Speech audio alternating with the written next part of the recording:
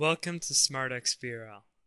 This is a video demonstrating how to add Word documents to SmartXBRL, where they can automatically be converted to either XBRL or Edgar HTML.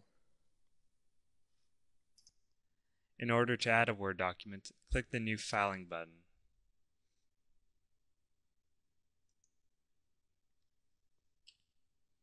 Enter in a new filing name, which can be anything.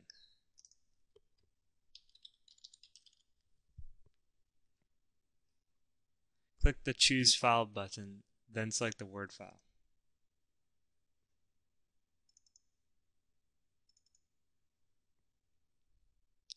Enter in the ticker symbol of the company.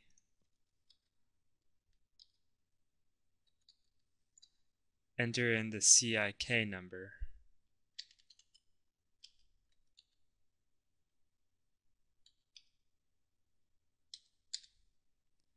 The company URL.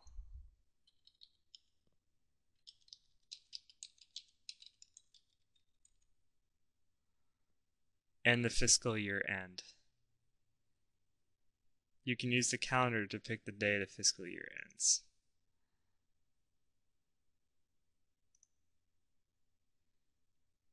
Press OK. SmartXBRL will automatically convert your Word document.